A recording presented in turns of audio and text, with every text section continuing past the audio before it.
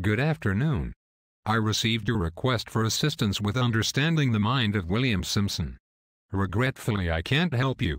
I have been trying to understand the way his mind works for years, and quite frankly, I can't. He is an anomaly. Be careful trying to get into his mind. You might not be able to get out.